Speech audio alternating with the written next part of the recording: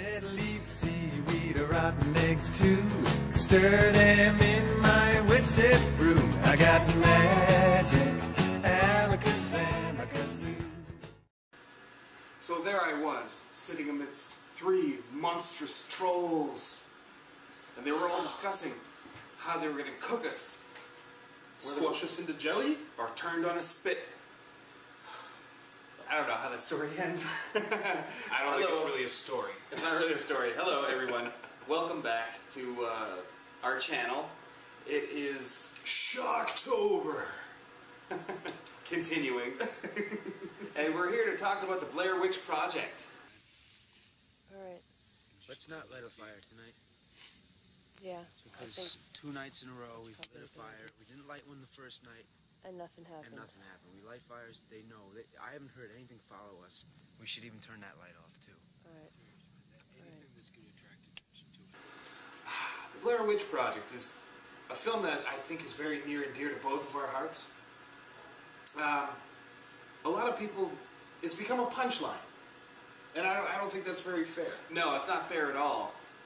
Uh, especially when the, the medium of found footage movies is getting so prevalent. Like, you know, you have uh, Record and Paranormal Activity, all sorts of independent films that are using the, using the kind of filmmaking method that the Blair Witch innovated. We kind of have to take it back to formula and see the original. Right. And uh, you had more experience with this than I did because you actually went to see it in the theaters. I didn't. Right. Well, you know how it breaks down is I wasn't always a horror guy. Like I'm a child of the '80s. I was born in 1980, and you know those were the days where you talk about Michael Myers, Jason, Freddy, Chucky, things like that. I never actually saw that as a kid, and to this day, I've never actually sat through uh, a Jason movie. A lot of people say they have. I've never seen a Freddy Krueger movie either. I've, I've seen maybe two of each. Yeah, and uh, at the end of the day, I can't I can't say I, I know a whole lot about either of them. So, like, this movie came out in what '99? Yeah, '99. I was 19 years old, and this was the first scary movie that I went to a theater a theater to uh, to see, and it scared the hell out of me. well, see, that's the thing is, I never got that chance. Like, it, I don't know what happened, but I just wasn't around the right group of people. We never got got together to see it. I saw it like two years later when it came out on on DVD. That was that was the thing is the DVD was taken over. Right. Um, so please regale us about your experience in the movie theaters. And you know, I think you're right when you say this movie is uh, is treated unfairly because uh, a lot of people say, "Well, you don't see anything." But that's part of it. That's part of it because that's a huge part of it. Yeah, it's it's like the human mind is is capable of creating something scary to you, you know, basically. Well, yeah, in your mind, as, as people are going along through this film, it's very easy to look at it as create your own monster or create your own your own villain, a situation that would terrify you. And uh, for me personally, you know, I don't, I'm not generally one to spook, but I hate being in the woods in general. Like I, I brought this up in the channel in the past. I hate being lost in the woods. That's probably something that would unsettle me more than most things. Right.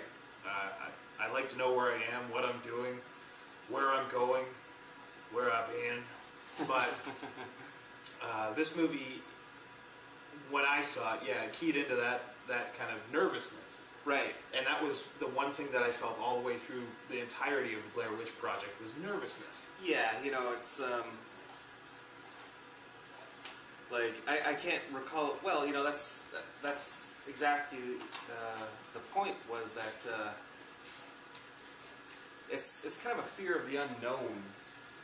You know, it's cliche to say that, but every now and again a film comes along like this and it highlights it to a T. Well, consider what was coming out at roughly the same time was a lot of movies based based on CGI. Mm-hmm. And this was kind of at the time where, you know, CGI wasn't really that good. It still looked phony. It still looked really under the wrong circumstances. Really fake. So, you know, you gotta I kinda weighed it in my head that, you know, what is more scary, the the expectation of something horrible or something that looks stupid. Yeah. You know, and I'll side with this movie all all day. Oh yeah, and for that it works marvelously. I mean, uh, even in even in the, the early parts of the Blair Witch Project, when they're talking about um, the legend of uh, forget what her name was, uh, Bloody Mary. Well, it was like Mary Hodgkin or something like that. I forget what it was.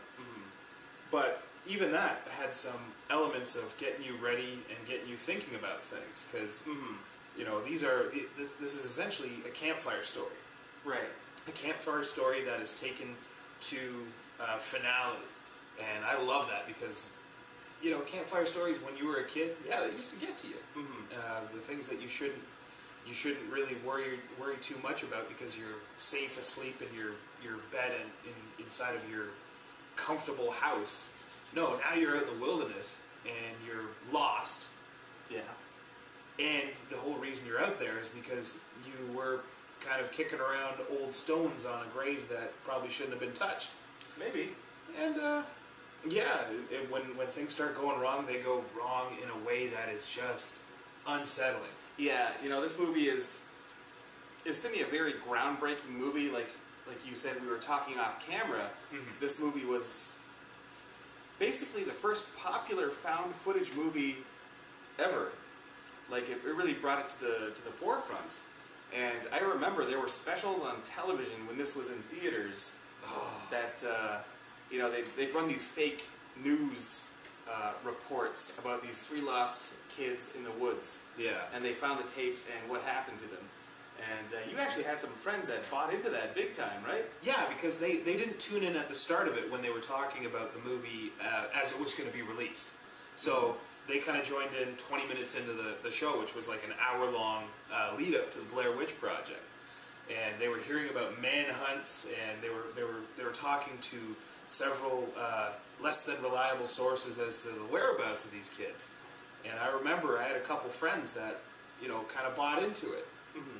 Like they didn't know the premise of this so it was it was literally just an hour long special almost like at the time um, uh, america's most wanted that that that show was on too. And he was on that program as well. So it added some legitimacy to it. And uh, yeah it got to them. And that that's that's what you call laying a foundation and the blair witch if you just watch the movie it does a good job but the to see it new that marketing blitz and, and the promotion and the way they handled it, it was spectacular. Yeah, I had never seen anything like this uh, before. Like this was my basically my first scary movie that I that I went to to uh, go see, and there was this, like you say, it was the huge marketing blitz. It was uh, it was actually doing things well ahead of its time, like uh, close to 15, 16 years ahead of its time.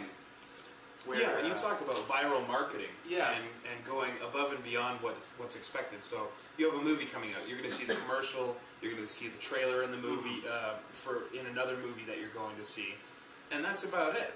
Now viral marketing, it's it's it's hitting TV. They it, it, it's very Orson Welles like in that. yeah, that that's manner. exactly it. Yeah. and uh, it was fabulous. And the movie is is just such a great joy to, or not a joy, but it is one of the must see horror movies of all time. Uh, I truly do believe. it. Yeah, I will take a stand with you on that. This was viral before viral was a thing. yeah. You Before know. they had a word for it, they didn't know what they had, but they Mhm. knew it was good. Yeah, And yeah, they, they, they, they took the ball and they, they ran into the end zone and just did the best touchdown dance ever. Yeah. For, for a film with such a meager budget, but a lot of effort. hmm Uh, it's still making money in, Right. in my mind. Like Mhm. you know, they had they had a couple or one sequel didn't do very well, No. but that it it won't ever tarnish the first movie. Right. It's just fantastic and Total classic. total classic. And if you don't know the story, you obviously ain't been watching horror movies. So I don't think we really need to run this down too much more, except maybe highlight your favorite scene in the movie. Well, my favorite scene, the one that sent uh, a chill up my spine at the time, was the final scene, where if you were paying attention to the the story, the story to the uh, mythology of the Blair Witch, what was um, what your final moments would be like, where she would make You know, She would make kids stand in the corner. one kid stands in the corner while she kills one, and you know that's that's how it goes. Yeah. And so when uh, Heather is running around the house at the end, Trying to find her friends. trying to find her friend, uh, and she sees him standing in the corner, I just a chill went up my spine, and I I just knew what was coming next, and that was that was completely it.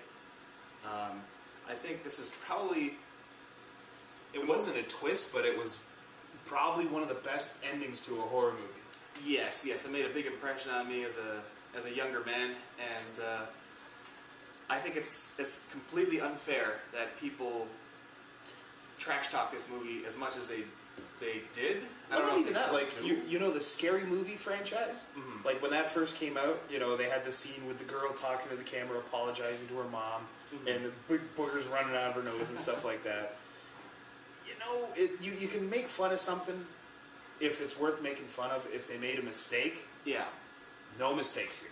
no, It's it's not a perfect movie, but it's it's one of the most most exemplary uh, ways to start a genre. hmm Found footage, Blair Witch is still at the top in my mind. hmm that's just how we roll here at the Sentinels of the Solar System. seaweed, rotten eggs too.